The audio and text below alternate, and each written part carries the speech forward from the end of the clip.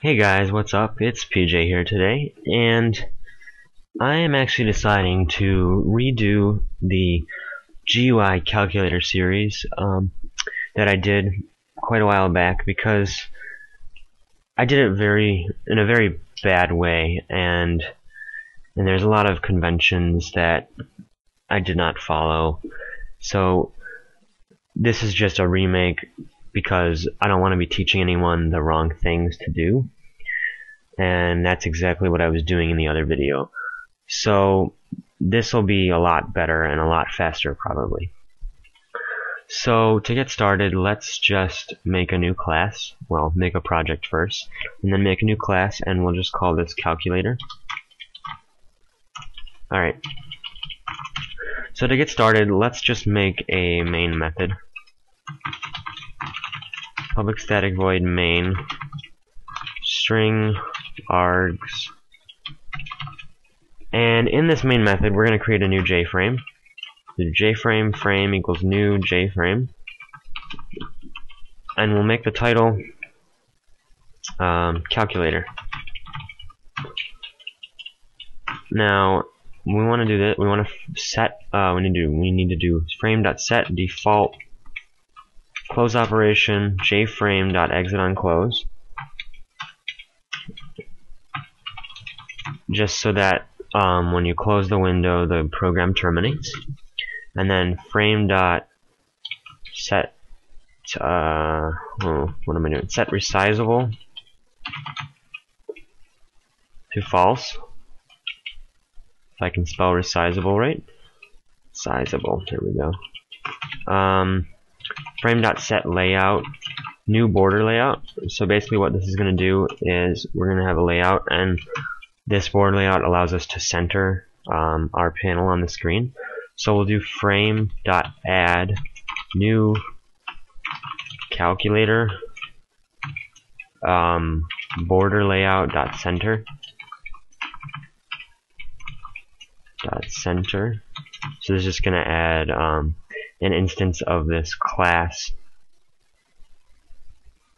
Um, so to fix that error, we gotta make calculator extend um, not not extends calculator extends JPanel.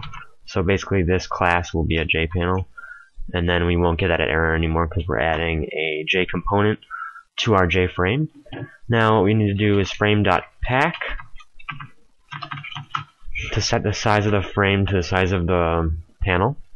Uh, frame.set location location relative to null. So this will center our frame on the screen. And then frame.set visible to true. So that should create a frame. Um, so if we run this right now, we'll just get a really tiny frame um, because we haven't set the size of the calculator. So let's just get that started public calculator. Um, and we're going to create two variables um, width and height. So our width is going to be let me think. I think uh, 320 will do. Um, and our height is going to be 480.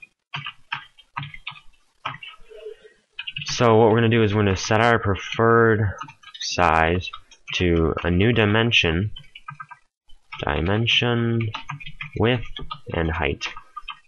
Um,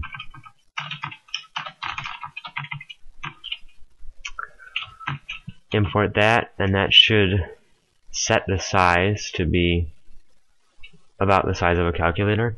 Um, and one final thing before I go, we just gotta add a um,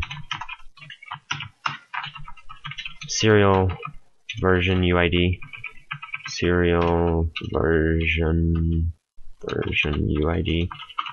This is just another Java convention. So in this tutorial, we basically um, we basically created the window and we added a panel to the center of the screen. Um, so that that was basically it. That's all I'm going to do. I'm going to try to keep these videos pretty short. Um, in the next video, I'm probably going to work on the grid bag layout for the panel, which allow us to make certain sizes of different things, and that'll be very useful for us. So, um, I'll see you guys next time. Thank you for watching, and be sure to subscribe.